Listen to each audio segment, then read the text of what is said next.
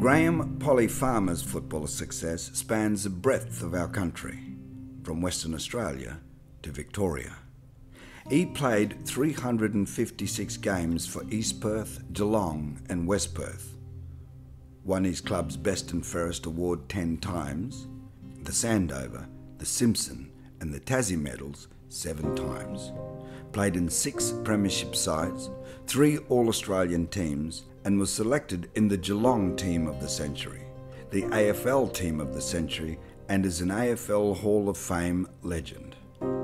Looking back on such rock solid success, it is hard to grasp how unlikely it was for an Aboriginal boy born in 1935 and raised at Sister Kate's Children's Home in the Perth suburb of Welshpool. As a teenager, Farmer was tall and gangly thin, with his mate Ted Kilmurray, who reckons his nickname came from the fact he was always good on the tooth, hungry as a parrot, forever pecking on his seeds. Polly Farmer was a ruckman but he was still only 10 stone. He was tough and competitive, even to stand up to the hard men in the WA League. His intelligence was applied with reflex determination.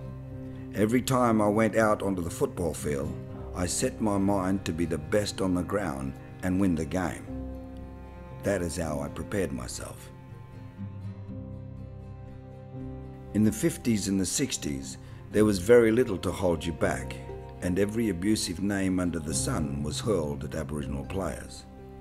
Polly's reaction to this was typical, cool, firm, and clear. Whatever the person is saying about me, I didn't have a problem.